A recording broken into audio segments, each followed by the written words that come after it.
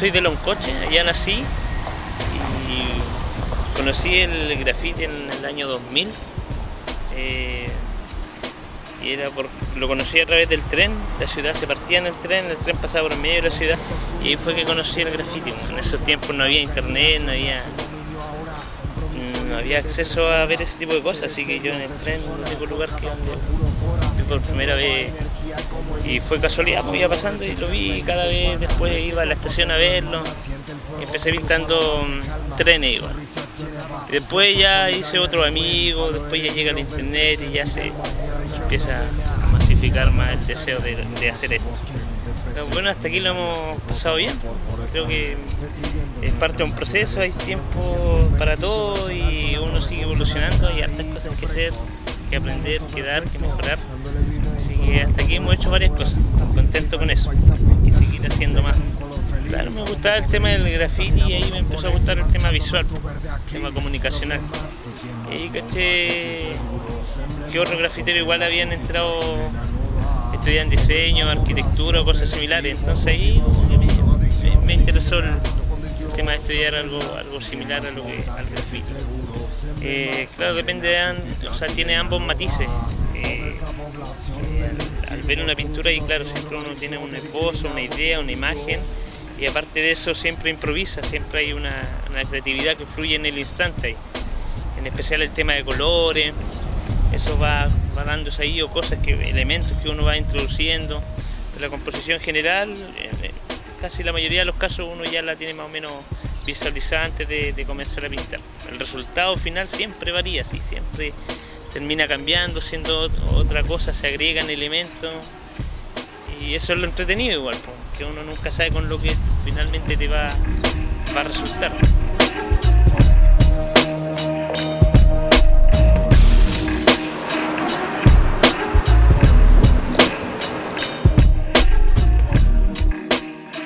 enseñar igual que estamos haciendo talleres eh, que son como workshop express en que hacemos que la gente pueda aprender y meterse, introducirse en lo que es la, pintura.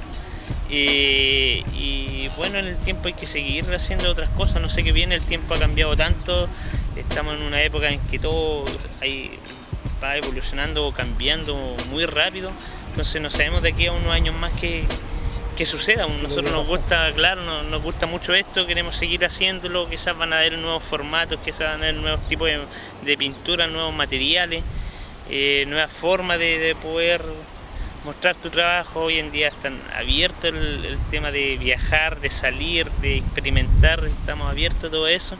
Así que, no sé, pues seguimos caminando y a ver qué, es lo que va a suceder. No, lo sabemos. Claudio Máger es el primer amigo grafitero que encontré. Pues los que impulsó igual mi, crecimiento e introducirme en esto. Él pintaba antes que yo, uno o dos años antes, y los dos éramos los que en, esos años igual nos hicimos bien, bien amigos. En encuentros de hip hop nos conocíamos y empezamos a pintar. Y con él hemos ya llevamos una amistad de más de 15 años y pintando juntos desde aquella época. Como a la pinta igual nos encontramos pues en diseño gráfico, se nos sumaron otros amigos, el Claudio Cabrera, el Carlos Maturana, el Anerurra se nos sumaron en ese tiempo y pudimos hacer un buen, buenos trabajos, hicimos buenos viajes, igual pintando y ha sido genial eso, cómo se ha ido dando y que ya hemos conformado algo más, más igual a través del tiempo que ha perdurado.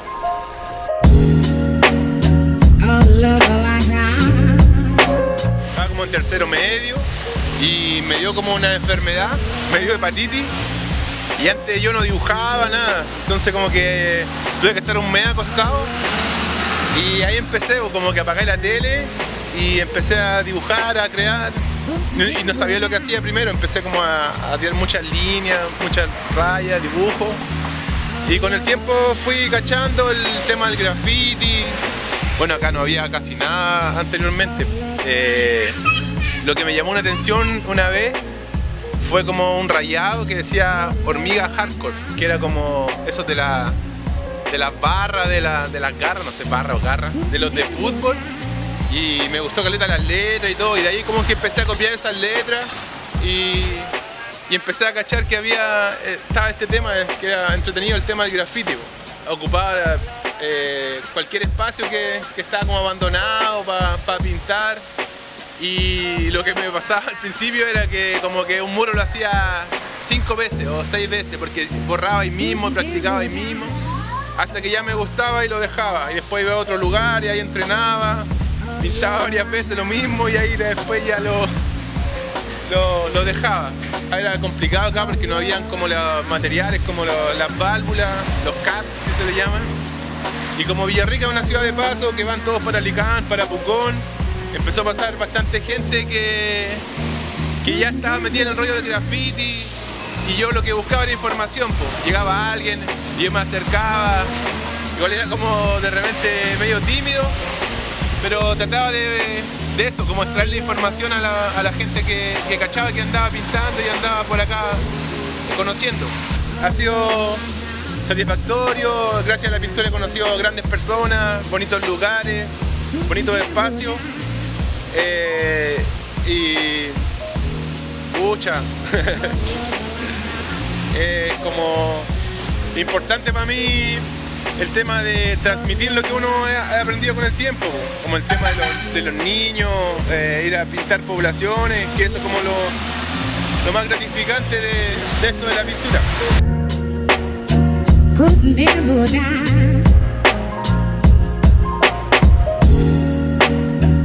la la la.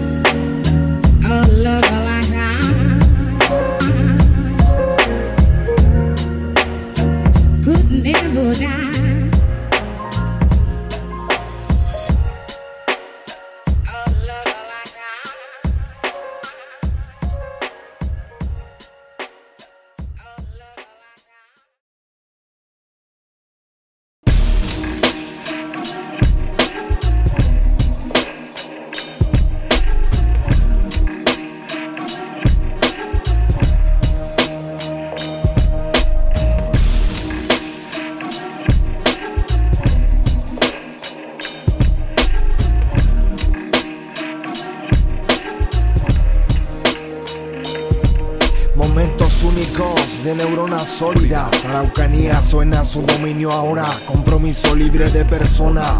Seres serios de su zona, forjadas a puro cora. Siente broda energía como emisora. Tú solo recepta esta infopana. Respeto pa' Pedro, hermana. Siente el fuego de tu paladar, te calma. Sonrisa